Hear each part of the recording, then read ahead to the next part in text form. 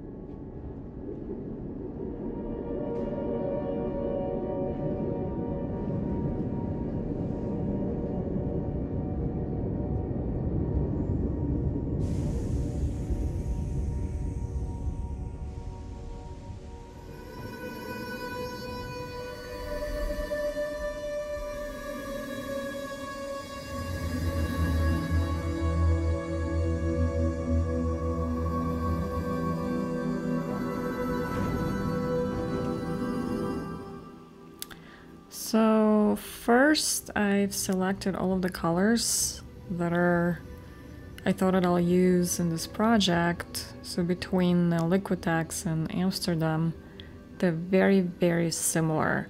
Couple of the colors are a little bit off, like some are a little bit lighter than others, but the tone is gotta be, at the very least, almost the same.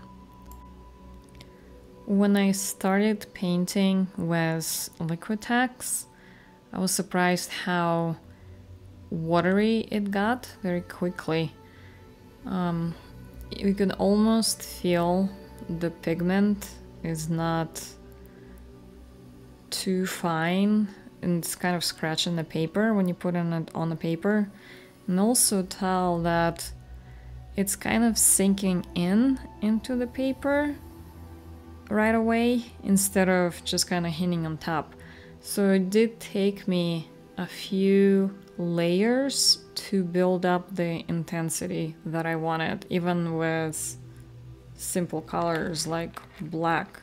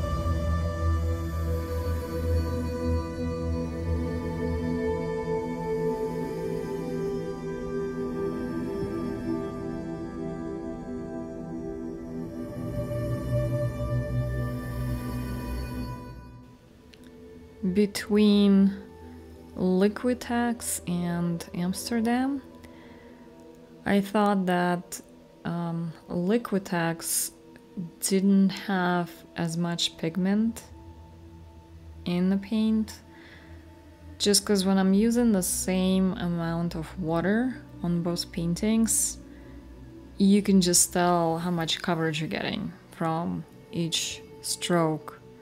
It also took me a lot longer to finish the painting with Liquitex, probably because I kept layering and layering until I got the intensity that I wanted.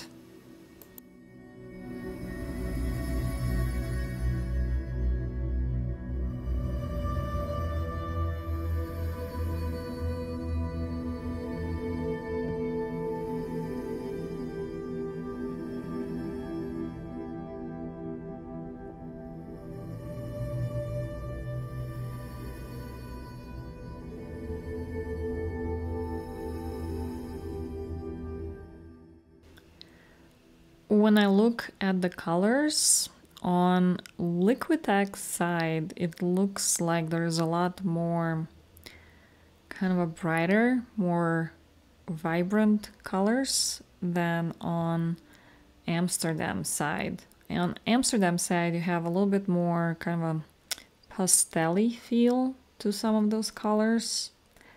Um, also, another observation that I made when I was doing this, Liquitex seems like it's more transparent. And at the end of the painting there when I'm putting on different colors on top of each other it kind of dulled out some of the colors. It's just not as vibrant anymore when they start mixing together. On Amsterdam side I kind of tried to put more and more paints on top of each other to see if I get the same effect and I didn't. It still looked very, very vibrant. How the colors were put on, they stayed kind of a, the same, very vibrant and juicy.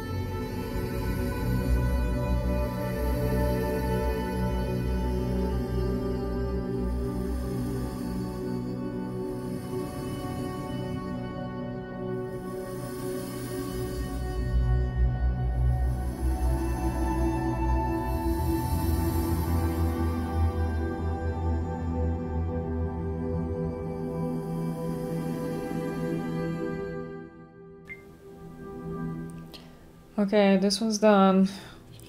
We'll do the Amsterdam next. Just kind of a quick, fun little bug.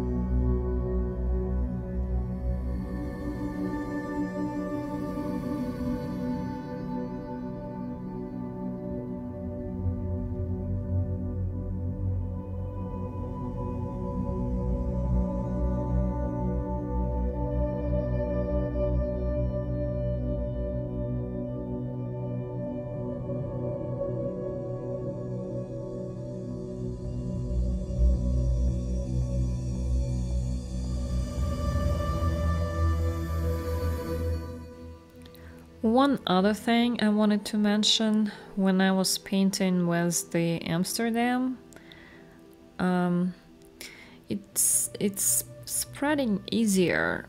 Like I didn't need to add as much water in there for it not to drag. It would still it was still soft and had enough liquid in the paint itself.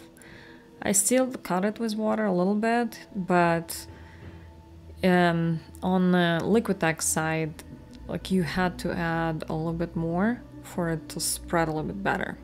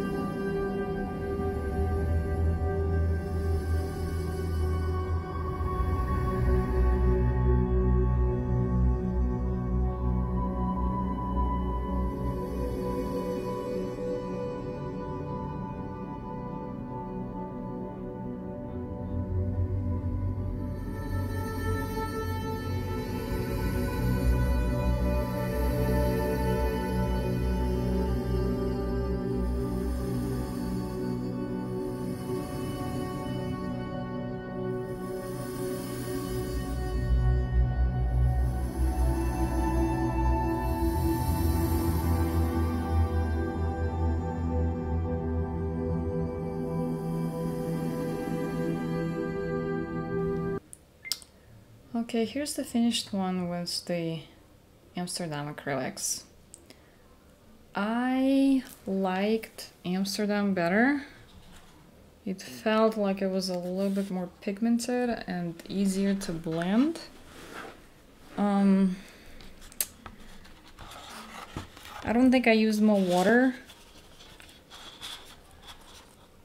or more paint, but it's just a little bit more opaque.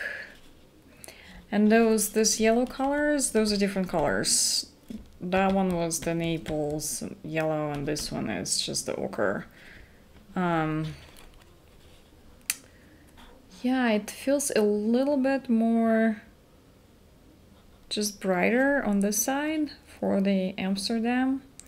And this one I was struggling to get the black just right it kept kind of the pigment was sinking in too much or something and it just wouldn't stay black. And that was the blackest black that they have in Liquitex on this on this guy. So let me know what you think guys. Which side do you like better? The Liquitex side or the Amsterdam side Hope you enjoyed the video. Don't forget to like, subscribe. Links to all the products are listed down below. Love to all. Have a great day.